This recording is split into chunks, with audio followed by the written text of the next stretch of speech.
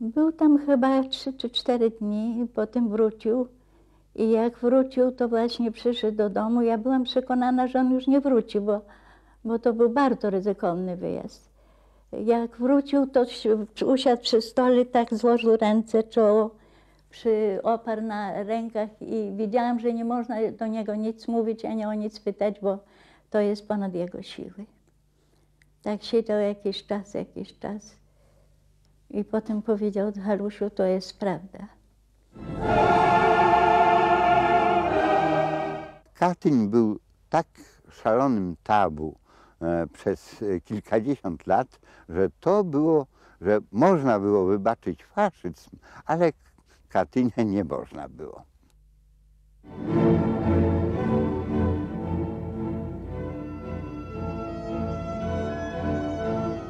Ferdynand Goethel urodził się 15 maja 1890 roku w Suchej Beskidzkiej w domu położonym w pobliżu dworca kolejowego, gdzie pracował jego ojciec. Ferdynand był drugim synem Walentego i Julii Goettlów. Starszy o rok Walery został znanym geologiem i w przyszłości rektorem Krakowskiej Akademii Górniczo-Hutniczej. Po kilku latach rodzina Goettlów przenosi się do Krakowa. Tu po niespodziewanej przedwczesnej śmierci ojca Goettlom pomaga wuj Ferdynand Turliński, właściciel popularnej wśród bohemy artystycznej kawiarni Paon. On równolegle zajmował się e, i malarstwem, i pisał wiersze młodzieńcze, prawda? Jest taki żywot cy- cyganeryjny uprawiał. Fascynowała go bardzo muzyka i na początku zresztą chciał taką karierę muzyczną, sobie wymarzył. Także ciężko by było w sposób jednoznaczny powiedzieć, że coś konkretnego już od początku, od zarania e, Getla pociągało. Na pewno nie wychowała go ówczesna oficjalna e, szkoła. Relegowany był e, z kilku szkół średnich, łącznie z, ze znakomitym Liceum Nowodworskiego w Krakowie. Też w, w Lwowie, chyba trzykrotnie e, został niestety z notą obyczaje naganne wyrzucony ze szkół i w końcu zdecydowano, że najlepiej będzie, jeśli mm, zacznie się kształcić e, w szkole dla kadetów. A więc chciano, aby rodzina chciała, żeby e, zapewnił sobie byt. Goethel w wieku lat 16 y, decyduje się na ucieczkę z tej szkoły, więc też ją porzuca, wraca do Krakowa i dopiero tam mm, decyduje się na e, zdawanie eksternistycznych egzaminów, dostaje się do szkoły realnej i tam jako prymus, o dziwo, e, zdaje maturę. Lata szkolne to także początek wielkiej, trwającej przez całe życie fascynacji Goethla Tatrami.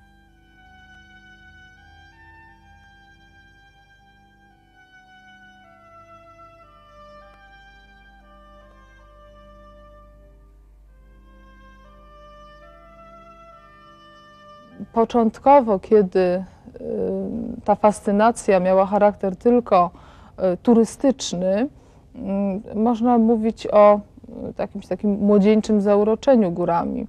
Ale później, kiedy, szczególnie po 1909 roku, kiedy miał miejsce bardzo tragiczny wypadek y, związany z wyprawą na Wielką Buczynową Turnię, jedna osoba zginęła. Y, On zaczął zastanawiać się nad stosunkiem człowieka do gór, nad ideologią taternictwa.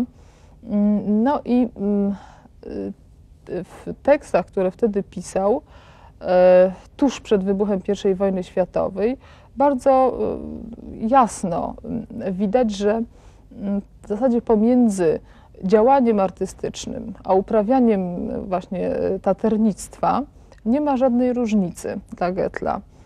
Wspinaczka wysokogórska była dla niego takim aktem artystycznym. E, To jest taka bardzo charakterystyczna dla niego rzecz, bo później przez całe e, życie swoje twórcze mm, nie oddzielał literatury od biografii, e, od życia. Po ukończeniu studiów architektonicznych na Politechnice w Wiedniu, Goethel znalazł się w Warszawie. Tutaj zastaje go wybuch I wojny światowej. Władze rosyjskie internują młodego obywatela wrogiej Austrii i wyprawiają pociągiem do Taszkentu, gdzie spędza sześć lat. wbrew jakby panującej takiej opinii na temat losów jenieckich, on e, mówił o tym czasie i o tych swoich doświadczeniach jako o czymś, co było dla niego dobrodziejstwem. Właśnie jako dla pisarza i jako dla człowieka. Do tych tematów turkestańskich potem powracał wielokrotnie i właśnie te doświadczenia e, spowodowały, mm, że zaczął e, pisać więcej, że w ogóle stał się pisarzem. Jakby ten pobyt uświadomił mu to, że mm, jest przede wszystkim e, świadkiem czasów, że powinien dawać świadectwo. W grudniu 1919 roku Goethel postanawia wydostać się z coraz bardziej niebezpiecznego Turkestanu. Tym bardziej, że założył rodzinę, a jego żona Jadwiga spodziewa się dziecka. Rozpoczyna się 13-miesięczna podróż rodziny Getlów, która przez Persję i Indię, potem Anglię i Niemcy dociera do Polski. Opis tej wyprawy, zatytułowany Przez płonący wschód, przynosi Goethlowi pisarski rozgłos. Goethe obserwuje tylko skutki wojny. To już jest w zasadzie nie płonący wschód, tylko wschód, który e, zgorzał. Mm, On sam nie brał nigdy udziału w żadnych potyczkach, walkach. To nie miał doświadczeń frontowo-rewolucyjnych. Sam powrót, moment, kiedy oni przybyli e, do, do Polski, jest przez Goethe'a e, opisany dość ponuro, nie w tonacji hura optymistycznej i patriotycznej. Mm, I w zasadzie mm, w dużej mierze on przypomina powrót e, Cezarego Baryki. E, Zimny, nieprzytulny, ponury e, dworzec i mm, oczywiście nikt tam nikogo nie witał. 1 stycznia. Miałem sylwestrowy sen. Śniło mi się, iż byłem synem takiej ojczyzny, której każdy obywatel robił to, co do niego należało. Generałowie zgłębiali strategię i wyższy kunszt wojenny, ministrowie rządzili krajem, Sejm uchwalał prawa, szewcy szyli buty, poeci. Pisali wiersze, księża odprawiali msze, chłop orał, robotnik stał za warsztatem, a złodziej siedział w kryminale. Spacer po ulicy nie był w kraju pierwszym aktem patriotycznym, a o przypaloną pieczeń nie obwiniano narodu, państwa i rządu. Jako szczęśliwy obywatel wyśnionej ojczyzny niemalże nie wiedziałem o jej istnieniu. Raz w rok płaciłem podatki wymierzone sprawiedliwie, raz na trzy lata głosowałem na najporządniejszego człowieka, aby o szczęśliwość mą dbał w Sejmie. Pisałem dużo dobrych książek. Wolne zaś chwile spędzałem na czytaniu utworów mądrzejszych ode mnie ludzi, oglądaniu pięknych rzeczy, a w myślach szukałem zbliżenia do zagadnień nieśmiertelnych, które przeżyją mnie, środowisko moje, rząd, państwo i ojczyznę. Popularność Goethla powiększają kolejne książki. Powieść Karchat, opowiadania z tomu Pątnik Karapeta, wreszcie słynna powieść Z dnia na dzień. Goethe pisał powieści przygodowe, e, w jakiejś mierze batalistyczne, a w każdym razie opisywał ruchawki rewolucyjne. E, Słowem dawał pewne elementy światopoglądowe. Miało to drugie dno, a zarazem były to romanse, które no, nadawały się do świetnego czytania, filmowania. Zawsze interesują go w opowiadaniach i w, i w powieściach tych na kanwie rewolucyjnej opartych mm, przede wszystkim doświadczenia mm, osobiste e, tych bohaterów. Mm, I zazwyczaj to są, jeśli, e, jeśli bohaterem jest Polak, Jeniec czy Europejczyk, jakiś zbieg, e, to naj, najciekawsze jakby w jego mm, ujęciu, w obrazie mm, jest to, że to są zazwyczaj bohaterowie ze skazą. Forma e, z dnia na dzień jest bardzo oryginalna, której nie spotykał przedtem, mianowicie narracja jest dziennikiem. On pisze dziennik prawda? i w tym dzienniku są wspomnienia pobytu w Turkestanie, miłość jego i opisuje życie rodzinne i Kraków e, w czasie teraźniejszym. I teraz to jest, dlaczego to jest oryginalne? To nie jest jakaś taka awangarda, właśnie głupawa, wtórna. To jest coś autentycznego, opartego na jego życiu, że on czuł, że ta przeszłość przenika jego życie obecne i znalazł formę na to. I ta forma według mnie do dziś dnia gra. Ja myślę, że nie, nie awangardyzm i nie pewien psychologizm tej książki powinien być dzisiaj doceniony, choć y, wśród nas estetów prawdopodobnie to będzie na pierwszym planie. Y, Myślę, że powinno się docenić jak gdyby pewien humanitaryzm owego, owej jego powieści z dnia na dzień, y, wynikający z właśnie już wtedy z pewnej polityczności. Y, Z dnia na dzień to jest książka, która wyraźnie bierze w obronę znowu jednostkę. 28 października. Pierwsze. W plecy nie strzelaj. Drugie. Rannych nie dobijaj. Trzecie. Bez sądu nie każ. Czwarte. Umarłych nie znieważaj. Piąte. Bohaterów uszanuj. Szóste. Niewinnych oszczędzaj. Siódme. We wrogu uczcij człowieka. Ósme. Kobiety i dzieci ochraniaj. Dziewiąte. A zresztą. Rób co chcesz, niech cię diabli porwą. Nie mnie przecież pisać nowy dekalog. Goethe staje się jednym z najbardziej znanych pisarzy dwudziestolecia. Jego książki są wielokrotnie wznawiane, rekomendowane przez wybitnych krytyków, tłumaczone na obce języki. On sam jest prezesem PEN Klubu, potem Związku Zawodowego Literatów Polskich. W 1935 roku z rekomendacji Karola Iżykowskiego zostaje członkiem Polskiej Akademii Literatury. Był człowiekiem eminentnym. E, Z czym się wiązała szalona popularność jego książek? No, mówiąc szalona, e, musimy mieć na uwadze, że czytelnictwo w dwudziestoleciu ograniczało się do nie takiego znów wielkiego grona. Ale powiedzmy, e, książki Getra były filmowane i to już trafiało do szerokiego grona. Gettel był bardzo przyjazny młodym ludziom. Zawsze był dostępny. To była wielka figura. Prezes e, PEN Klubu, który wtedy dużo znaczył i prezes potem Związku Pisarzy. I on po prostu lubił moją poezję. I mam taki wypadek, kiedy ja miałem za 20 lat i jakiś klub podoficerów chciał, żeby dwóch pisarzy wystąpiło. No to Goethe mówi, ja z panem wystąpię. Ja, co to byłoby dzisiaj możliwe? Ja wątpię, wie pan. On był tego rodzaju człowiek.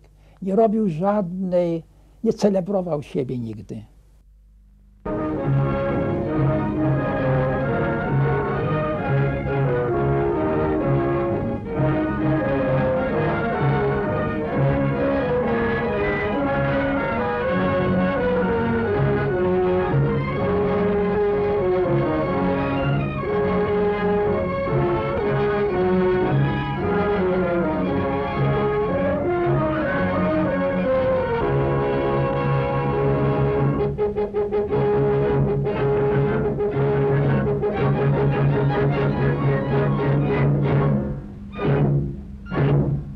Z biegiem lat i z biegiem dni, kiedy te jego doświadczenia, podróże, szczególnie właśnie na wschód, do Egiptu, później Indii, ugruntowały w nim takie, taką postawę europocentryczną. Charakterystyczne na przykład jest to, że e, w swoich reportażach e, tak podskórnie gdzieś tam ten nurt jest widoczny takiej polemiki e, z mm, przekonaniami o tym, że upada cywilizacja zachodnia, tym szpenglerowskim, prawda, słynnym terminem, a to światło ma przyjść ze wschodu. Więc on bardzo mm, ostro przeciwstawiał się takim myślom i to nie zgadzało się z jego obserwacjami. Dużą uwagę budzi zaangażowanie polityczne Getla. W 1937 roku wiąże się on z reprezentującym prawe skrzydło sanacji obozem Zjednoczenia Narodowego pułkownika Adama Koca. W 1938 roku Goethel bulwersuje opinię publiczną książką pod znakiem faszyzmu. Duża część tej książki to jest po prostu y, bardzo y, wybitna, bardzo wnikliwa y, krytyka i analiza komunizmu sowieckiego. On wyszedł od swoich przede wszystkim doświadczeń. A doświadczenia Getla z okresów młodości to doświadczenia pobytu w Rosji. Przez cztery lata siedział właściwie w najbardziej krwawym momencie rewolucji bolszewickiej. On to wszystko przeżył. On wiedział, czym jest, czym jest bolszewizm i zapamiętał. A skoro zapamiętał i wiedział, to to doświadczenie rzutowało później, pod koniec lat 30., na jego wybór. Z tym, że w latach 30. doszła jeszcze jedna rzecz ważna. Gdzieś od 32-3 roku prawie wszyscy mądrzy Polacy, może ich tak wielu nie było, widzieli, że zbliża się jakiś kolejny kataklizm, prawda, że, że z tego, że Hitler doszedł do władzy, coś musi wyniknąć, coś bardzo groźnego. I tego się Goethel bardzo, Goethel się bardzo bał. Wiedział, że z jednej strony jest komunizm i bolszewizm, który znał, i z drugiej strony jest hitleryzm, nazizm i faszyzm, który no, znał może nie tak, nie tak, nie tak dobrze. Wybrał faszyzm, ale wybrał faszyzm włoski. I myślę, że wybrał nie tyle faszyzm w tego słowa znaczeniu, ile pewną postawę, którą y, sprowadzał do heroizmu, do y, świadomie kształtowanej postawy obywatelskiej w, w czasach zagrożonych. Uważał, że w latach 30., kiedy właściwie nie wiadomo, co z tą Polską się stanie, każdy obywatel musi odpowiadać za własne społeczeństwo, własny naród, własną ojczyznę. Urodziliśmy się, żyliśmy i żyjemy w czasie, w którym poczucie niebezpieczeństwa nie opuszcza nas ani na chwilę. Próbowaliśmy już wiele sposobów, aby się od niego odpędzić, i wszystkie okazały się bezskuteczne, gdyż coraz mocniej czujemy żar dachu palącego się nad naszymi głowami. Zagrożeni wołamy o solidarność i konieczność konsolidacji. Szukając sposobów złączenia się w jedno ciało, musimy dostrzegać tylko dwa przykładowe ustroje solidaryzmu społecznego: komunizm i faszyzm. Pierwszy odrzucamy wszyscy, chyba bez chwili namysłu. Byłoby szaleństwem szukać zbawienia tam, gdzie zaczęło się nieszczęście. Konsolidacja po demokracji, po erze Piłsudskiego jest zagadnieniem nowym i udać się może jedynie tylko na nowych, faszystowskich zasadach. Wybuch II wojny światowej zastaje Goethla w Warszawie. Pisarz zostaje jednym ze współpracowników prezydenta Starzyńskiego. Jest przewodniczącym sekcji propagandy Obywatelskiego Komitetu Obrony Warszawy. Dwukrotnie odrzuca propozycję wyjazdu z miasta. Jak 7 września y, wyjeżdżał rząd polski, opuszczał Warszawę i już Warszawa była prawie że otoczona, więc tu byłam obecna przy tym, jak Ferdynand odmówił, że proponowali, że dadzą samochód Ferdynandowi, bo przecież znał wszystkich w Warszawie, cały rząd i, i tych legionistów i powiedział, że on nie skorzysta, nie opuści Warszawy, zostawi, tylko zostanie razem z wszystkimi, tak jak marynarz, kapitan nie opuszcza tonącego statku. Goethel prowadzi tak zwaną y, kuchnię literacką na ulicy Foksal, gdzie no, pomaga po prostu pisarzom, którzy znaleźli, znaleźli się w bardzo ciężkiej sytuacji, ale pod przykryciem tej kuchni, o czym y, dokładniej wiemy y, dopiero od niedawna, y, poprzez pewną wypowiedź pisarza Kazimierza Truchanowskiego, prze- przez tę kuchnię literacką odbywają się przerzuty broni dla podziemnych organizacji w Warszawie, dla Zośki, dla Parasola. Tam też Goethel y, może stołować pisarzy pochodzenia żydowskiego. Ferdynanda ciągle całą okupację nazywano prezesem i wszyscy o wszystko pytali go i on przecież organizował tą pomoc i w kuchni dostawał paczki ze Szwecji, rozdział był i załatwiał im przez znajomości szpitale. Co więcej, Goethel y, angażuje się w działalność y, kulturową, pisarską, konspiracyjną. Między innymi y, współpracuje z y, Wilamem Chorzycą w redagowaniu konspiracyjnego pisma Nurt. Ukazało się dziewięć numerów od 40 do 44 roku. Ferdynand codziennie rano z Żoliborza jeździł do centrum miasta, do tej kuchni, dlatego że stworzył taką trójkę, Nowaczyński, Zeglarski i Ferdynand, który y, odwiedzał banki, odwiedzał jakieś prywatne sklepiki, y, cukierenki i zbierał pieniądze na tą kuchnię. I któregoś dnia wracał właśnie z tej kuchni do domu wieczorem na noc i powiedział, że wiesz, że ja będę musiał jechać samolotem niemieckim na front rosyjski. W 1943 roku na zaproszenie Niemców, ale i za przyzwoleniem AK, Ferdynand Goethel wraz z kilkoma innymi Polakami jedzie do Katynia.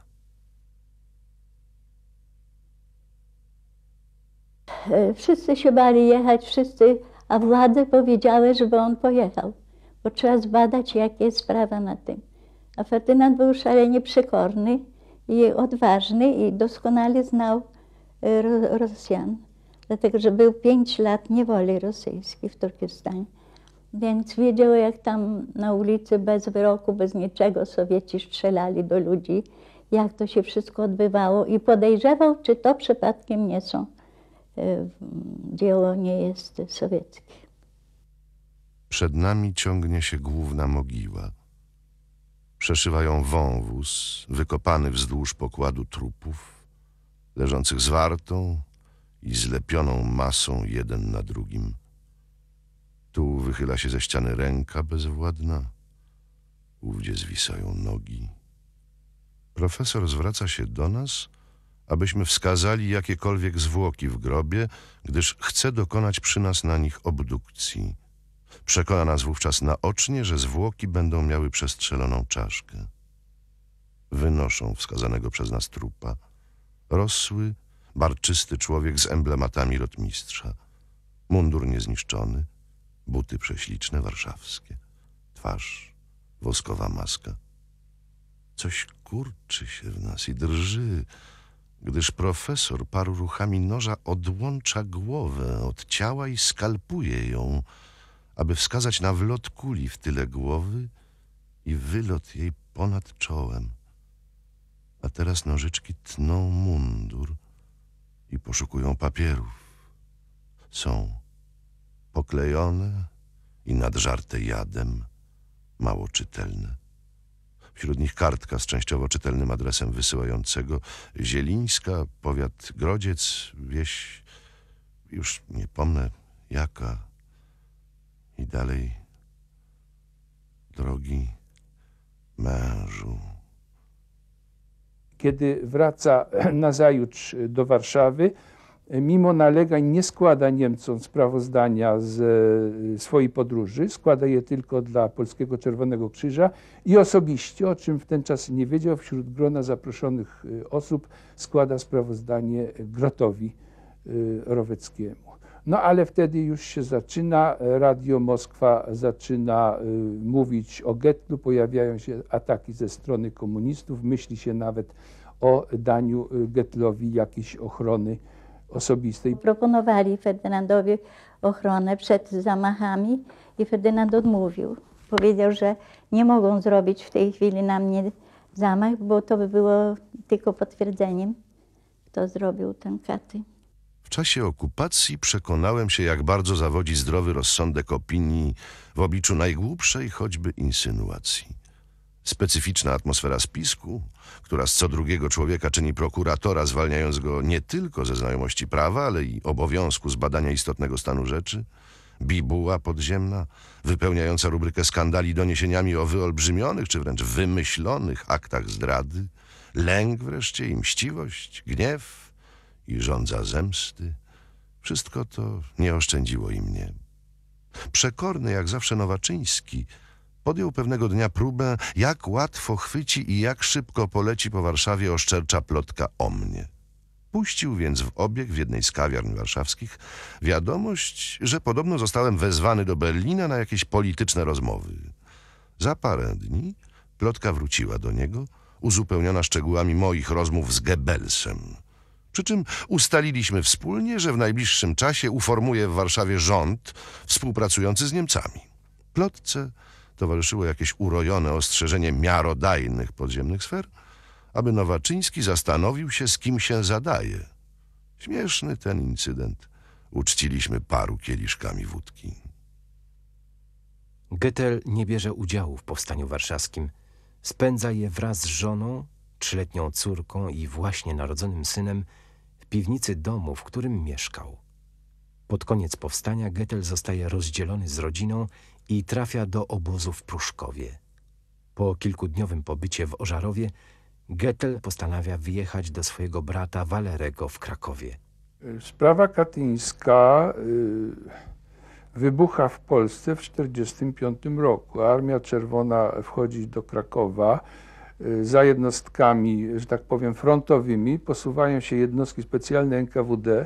Od razu zostają aresztowani członkowie tzw. komisji Robla, profesora Robla, która w Krakowie badała dokumenty katyńskie, a Goethel, który był w Katyniu, y, zostaje ostrzeżony, że go szukają. Wtedy y, y, chroni się w jednym z krakowskich klasztorów. Ja tak powiedziałam jednemu księdzu, że nie zawsze kłamstwo jest grzechem. Dlatego, że ja uratowałam życie Ferdynandowi w Krakowie, bo mm, mieszkaliśmy, wkroczyły wojska radzieckie. Ja z dziećmi byłam na mm, placu, dlatego że wtedy przemawiał Koniew. I potem wracam do domu i po jakiejś e, chwili przychodzi kilku panów i pytają, czy jest Ferdynand. I ja miałam parę razy wypadków takich w życiu, że ktoś za mnie mówił moim głosem. Bo ja nawet, ja nie wiem, w jaki sposób mnie to do głowy, ale ja od razu normalnie powiedziałam, jak to panowie nie spotkali Ferdynanda, przecież on, on pojechał do Warszawy tylko co. Jak to do Warszawy, w jaki sposób? Ja mówię, bo pociągi nie szły. Pojechał jakimś wojskowym samochodem okazyjnym, żeby zobaczyć, czy jego rękopisy tam ocalały. Y, Pikantną sprawą jest, że y, razem z patrolem, który przyszedł y, zatrzymać, aresztować Ferdynanda Getla, przyszedł Adam Warzyk. Być może był jedyną osobą w tym patrolu, która potrafiła go rozpoznać. Ferdynand wchodzi do mieszkania, ja mówię, słuchaj, no chwilę za, po, tych, po tych panach wchodzi do mieszkania, do Walerego. Ja mówię, słuchaj, uciekaj w tej chwili, dlatego że po ciebie byli tutaj jacyś panowie.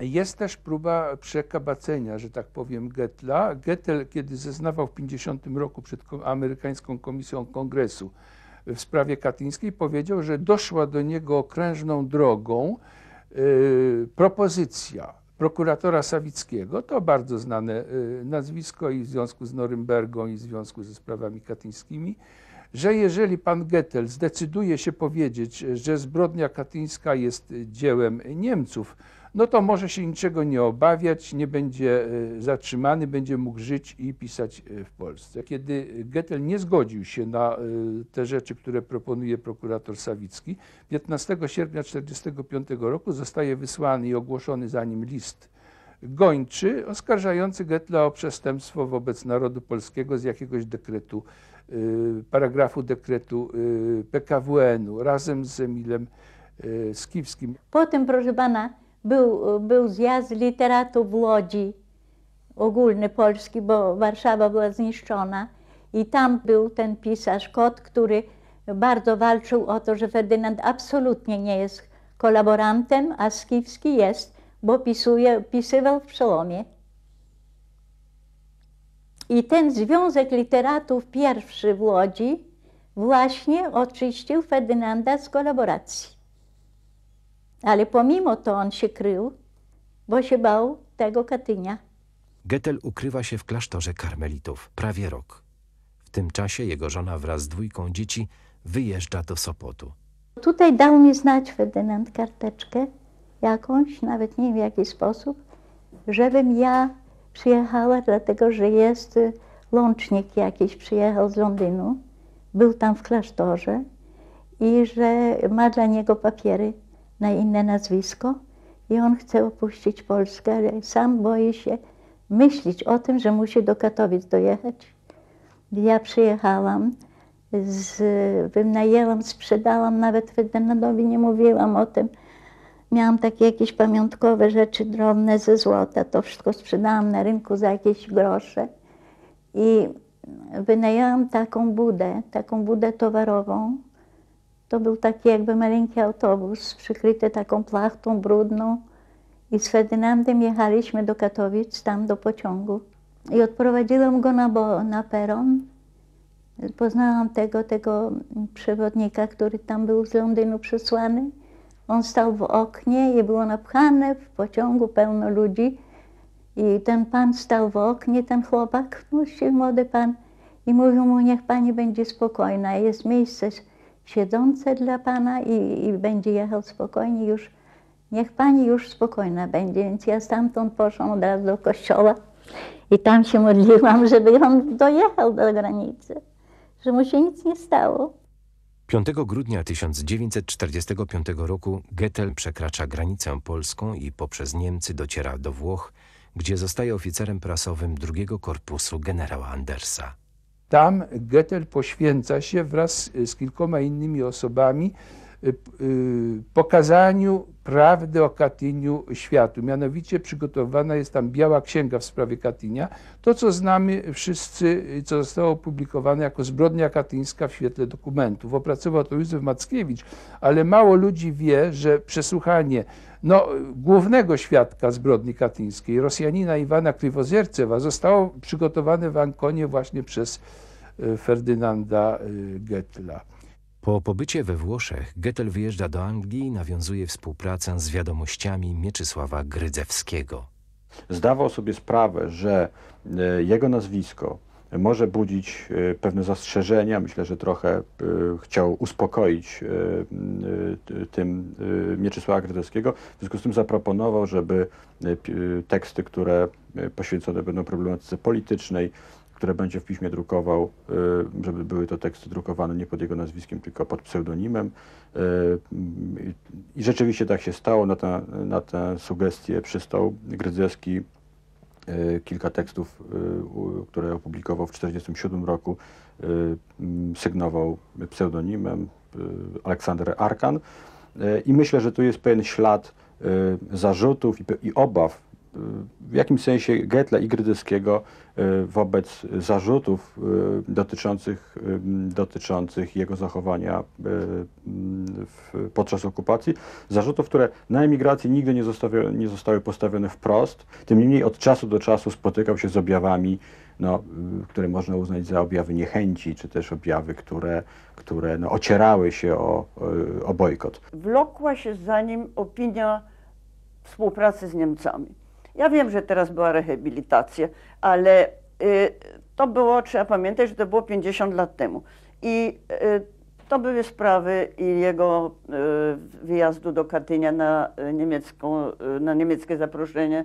Tak samo podobno wydawał jakieś pismo, podobno był współwłaścicielem jakiejś restauracji czy kawiarni, do której chodzili Niemcy. To było wszystko podobno, ja się tym specjalnie nie zajmowałam, ale to wytworzyło Y, taką aurę koło niego, że, że ludzie trzymali się od niego z daleka. Jak on przyjechał, tutaj pan wie, były listy gończe w sprawie w związku z Katyniem i on tu przyjechał i był, była pewna atmosfera bardzo nieprzyjemna po wojnie, takie rzeczy bywały tutaj, że ludzie unikali jakieś pogłoski oczernienia, to, to straszne rzeczy jak zawsze są. I ktoś mi powiedział, wtedy wykładałem na uniwersytecie, bo na panu nie wypada się spotykać z Getlem. Polak. Ja mu powiedziałem, ja będę się z nim teraz cały czas spotykał. Dziękuję panu. To dotyczyło przede wszystkim lat 40. Na emigracji panowała wówczas taka niesłychanie pod, a, patriotyczna, gorąca patriotyczna atmosfera. W latach 50. to nie miało już miejsca i Gettel y, y, y, ważne swoje teksty, wszystkie swoje ważne teksty opublikował no nie tylko w wiadomościach, ale także w, kulturze, w kulturze paryskiej pod y, własnym nazwiskiem. W 1957 roku zdarzyło się y, dosyć niezwykła rzecz. Mianowicie wtedy redaktor wiadomości Grydzewski y, ogłosił ankietę wśród czytelników wiadomości, którzy wtedy już zaczęli emigrować i znajdowali się rzeczywiście na całym świecie. Ankieta była na temat y, kogo wybralibyśmy do emigracyjnej Akademii Literatury, gdyby taka akademia istniała. I odpowiedziało na to e, kilka tysięcy, coś około 6 tysięcy ludzi. Na pierwszym miejscu był Kazimierz Wierzyński, na drugim Grydzewski i na trzecim Goethe, co było niesłychanie dla wszystkich zdumiewające. Bardzo często spotykałem go, e, czy tam u siebie na, na Chelsea, czy u tej Udakowskiego w tej kawiarni. Notabene tam oni siadywali, znaczy pisarze, wtedy Polacy, emigranci mieszkali stosunkowo blisko tego miejsca, na Elskorcie, nie na Iringu. Także to nie było daleko. I on tam przychodził, przychodził Nowakowski, przychodził Józef Mackiewicz, przy takim stoliku siedzieli. To bardzo mało kosztowało. Tylko jedna kawa i gadali właściwie cały czas. Mama y, korespondowała z ojcem w ten sposób, że ponieważ mama ukrywała oczywiście jakiekolwiek związki z ojcem, myśmy nosili nazwisko ojca i nie było nigdzie w papierach, że jesteśmy dziećmi Ferdynanda Getla. Więc mama pisała listy, y, adresując je do swojej przyjaciółki Natalii. I ojciec odpisywał mamie na te listy, również y, podpisywał się Natalia do momentu, kiedy y, mamę zaczęto przesłuchiwać. Znaczy, jak gdyby mamę tu wytropili ubowcy. Może pani teraz weźmie sobie papier, tu dali mi, mam ten papier taki żółty się zrobił i ołówek i napiszemy, podyktujemy pani, co pani ma napisać w liście do Ferdynanda. Tylko niech pani nie pisze na początku czy na końcu, tylko w temacie, w środku. Że Ferdynand koniecznie jest tutaj potrzebny, że on jest dobry organizator, że on świetnie się zna na literaturze i że powinien tu przyjechać, że w Warszawie dostanie mieszkanie, jakie zechce i, i w ogóle Złote Góry mu obiecywali. Ale mama, niech cię mnie bita, natychmiast poleciała do sąsiada, który pływał statkiem do Szwecji wtedy. I dała mu drugi list z prośbą, żeby on wysłał ze Szwecji ten list do ojca. I w tym liście opisała jak gdyby całą sprawę, to znaczy to przesłuchanie i to, że część tego listu jest dyktowana. On to wysłał do ojca i ojciec wtedy napisał pierwszy list podpisany y, swoim imieniem. Londyn, 2 października 1956.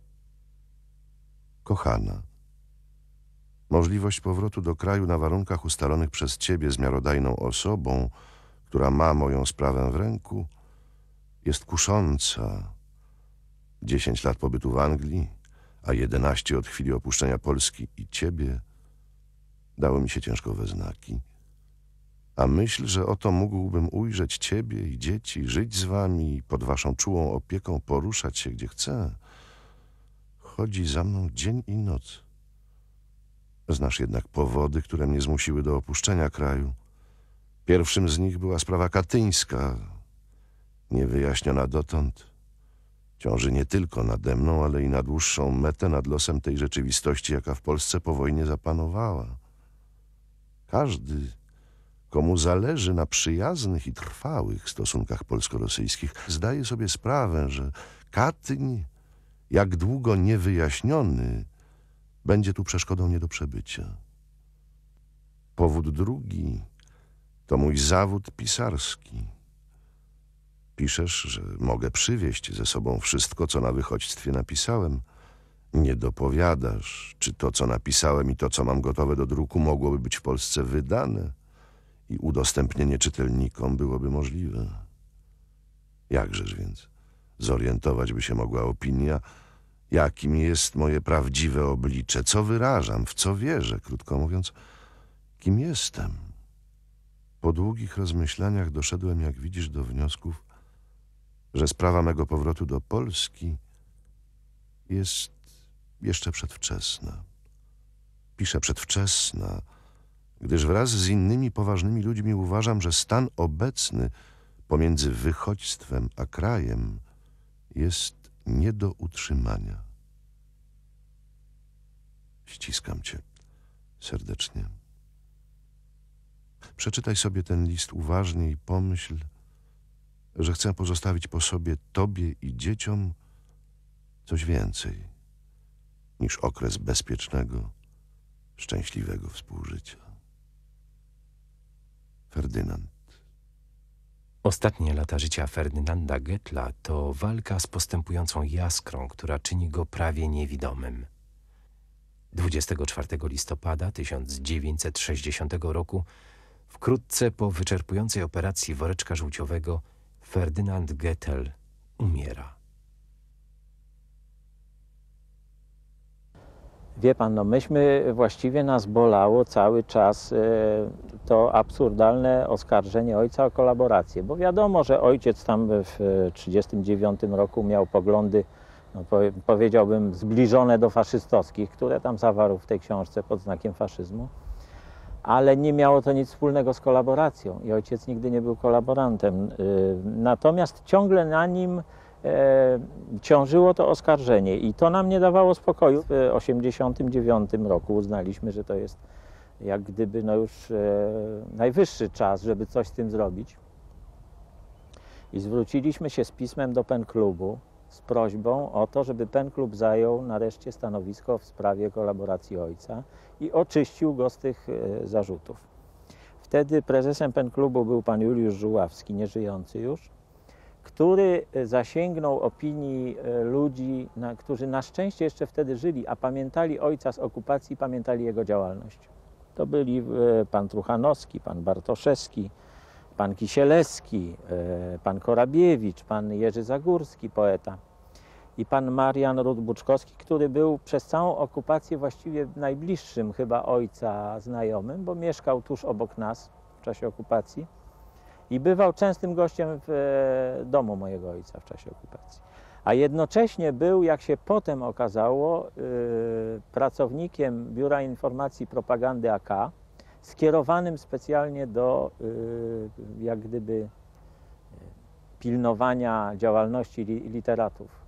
I, I on również zaświadczył, zaświadczył, że działalność ojca była absolutnie czysta w czasie okupacji. Chwila odjazdu się zbliża. Przypominam doktorowi Zejfrydowi powzięte wczoraj postanowienie oddania hołdu zabitym w ścisłym gronie polskiej delegacji. Zawiadomieni o tym Niemcy nie zgłaszają żadnych zastrzeżeń i usuwają się od nas. Stajemy nad jedną z bocznych mogił. Zdejmujemy kapelusze. Doktor Zejfryd wypowiada te słowa. Rodacy, uczcijmy chwilą milczenia poległych tu Polaków, którzy zginęli, aby Polska istniała. Jest chwila ciszy. Patrzę w dół czerniejący pod nogami. Nie wiem, czy Polska, która istnieć będzie i istnieć musi, będzie w stanie kiedykolwiek zapomnieć o tej mogile.